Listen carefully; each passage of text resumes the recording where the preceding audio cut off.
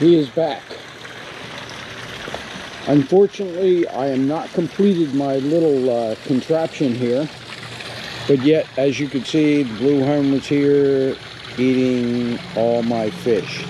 Unfortunately, I can't see any of my fish, which is horrible. Do you see any fish? We may have cleaned them out. Well, I am going to cover my pond with the net because I am still working on this. I have uh,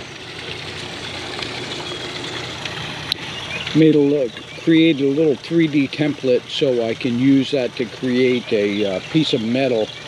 Uh, I have already welded a uh, a support here for a bushing because this shaft is going to be about six inches long that is going to uh, rotate hopefully something similar to this uh, to try to prevent him from being able to stand in my pond.